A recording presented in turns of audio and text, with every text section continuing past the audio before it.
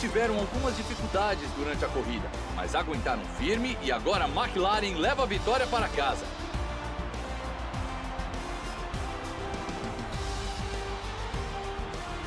Então, Anthony Davidson, como ele se diz... Eu diria que foi o ritmo puro e simples.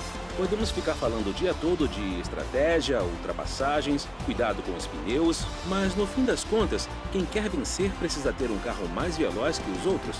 E foi exatamente isso que vimos hoje. Lá vem os pilotos vencedores para subir ao pódio ao final de um grande prêmio emocionante.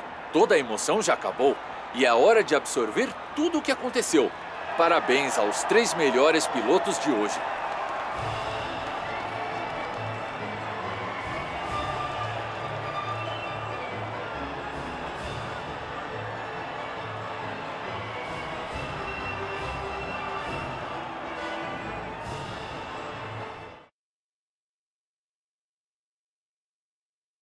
Agora vamos ver a classificação dos pilotos. Silva aumenta sua liderança no campeonato.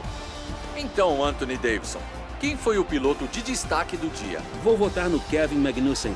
Foi um desempenho impressionante de ponta a ponta. Agora vamos ver a classificação dos construtores. A McLaren continua líder, mais do que nunca. Enquanto isso, a Red Bull teve um bom fim de semana e melhorou sua posição no campeonato.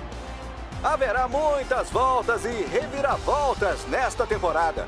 Espero que vocês estejam conosco na próxima corrida para ver quem sairá vencedor.